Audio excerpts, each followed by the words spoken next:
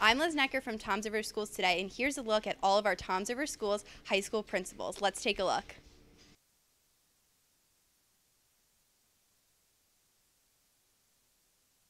It's about Toms River that, you know, we are, it is a big, small town.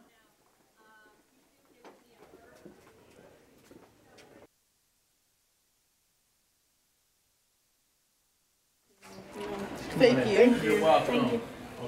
I was a teacher here at High School East for 11 years. Uh, I taught earth science and I taught environmental science and AP environmental science. My favorite part of being a principal is that I get to be involved with all the students. Uh, I'm involved with things academically and then the things after school, and it's just great to be involved in uh, in the, the students' lives. And it looks the same, so.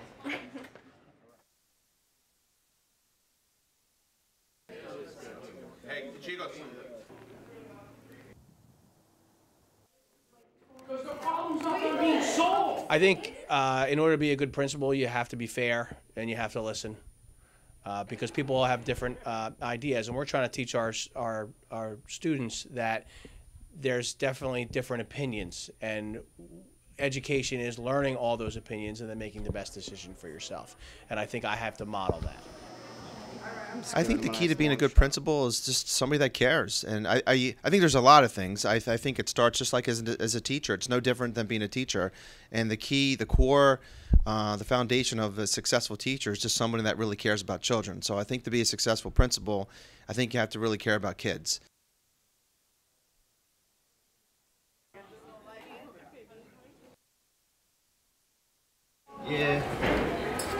Relate to them by just trying to be involved. I, I, try to go to as many athletic events as I can. I try to get into the classrooms every day.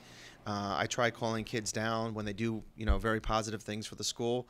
So it gets me an opportunity to con- continue to interact with them. I'm in the hallways as often as I can. I try to see the kids and say hello and, you know, just chat with them about various things. So that I, I think that helps me keep connected to them. I want our students to become a part of what we do here. You know, your four years will come and go, but we want you to um, to love the high school you go to.